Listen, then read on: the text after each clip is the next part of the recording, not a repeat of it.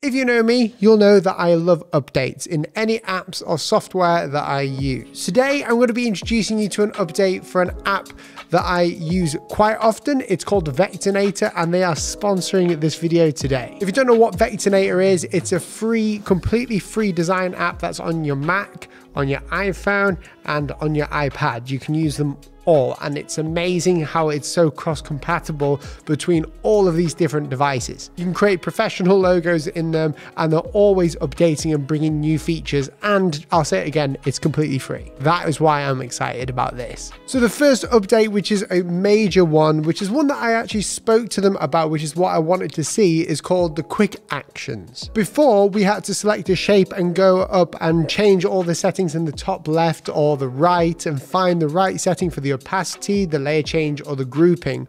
Whereas now when we select a shape, down at the bottom, you'll see this sort of quick actions menu where you can select an icon, you can change your stroke width, the size of your text, you can group them, ungroup them, change the layer orders, right where your hand is. So you don't have to be moving across the screen anymore. This itself is just a huge update to have as it makes it so much faster when you're working on like an illustration or a logo. Now, if you're using Vectornator not on your iPad as much as you do on your Mac, then you'll love this next part. They have updated their UI. It is more Apple-esque. The user interface is now even more cleaner. It's got a frosted glass effect on the sides and the UI panels. It looks like a real like Apple app. It looks like Apple created it themselves. The UI now just fits so much nicer into your Mac as well. It makes it feel less like an external app and more like one that belongs inside of the Mac. As well as that, they've got a cool new feature that you can check out in the export panel, which is just super simple as well. I've never seen a simpler export feature where you choose like the best quality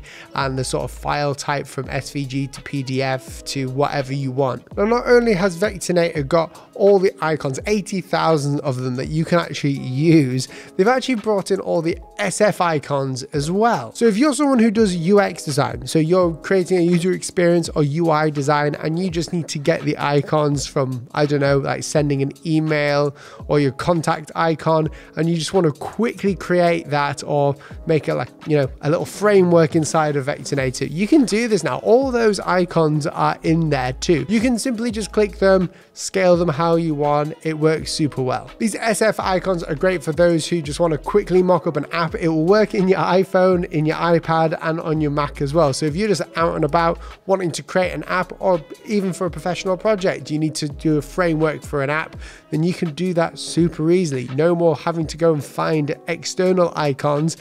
It's right within Vectornator now. And probably the coolest update that I've seen is the new quick settings. You can easily get to the settings now. Beforehand, it took quite a bit of, you know, clicking and finding the settings, but now you just simply click on the top left for the settings and you've got everything there. All of these new updates have been designed so you guys don't have to work as hard navigating the app. They've done such a good job with it and I've been using it to do some of my hand lettering, you know, just playing around with it, but also been using it so I can play around with the pen tool. I use Vectornator mainly on my iPhone when I'm just wanting to design something out and about or at home or if I've got an idea for a logo it's pretty cool. So if you're new to graphic design or simply curious about what a new program would look like, go ahead and click on the links down below. If you have an iPhone, an iPad, or a Mac, especially if you have an M1 Mac, seeing how Vectornator works super well on those Macs, then why don't you just download it for free? It's really good to use and you will not regret it. Thank you so much for watching and I'll see you in the next video.